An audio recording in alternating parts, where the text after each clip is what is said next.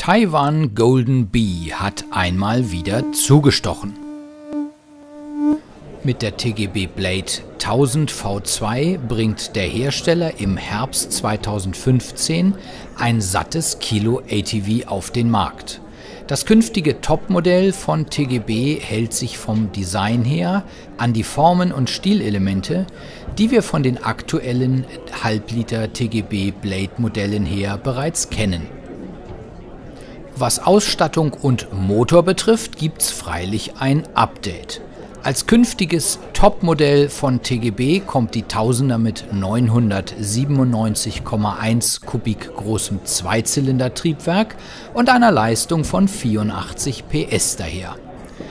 Und der Motor hört sich schon mal ganz ordentlich an.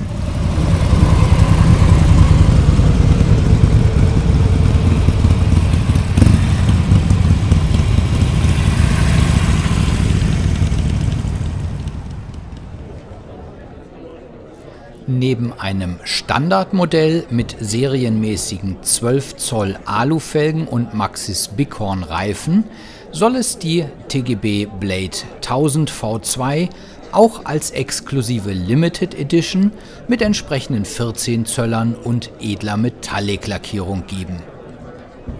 In Hinblick auf die EU-Bestimmungen für schwere Geländequads, die ab 2016 gelten werden, ist bei der TGB Blade 1000 V2 auch ein sperrbares Hinterachsdifferential Serie. Das vordere Diff ist sowieso selbstverständlich. TGB-Importeur Hans Leb kann die Tausender ATVs ab Herbst wahlweise nach deutschen LOF-Vorschriften oder nach EU-Bestimmungen typisieren, womit die TGB Blade 1000 V2 in allen Ländern Europas mit offener Leistung zulassungsfähig sein wird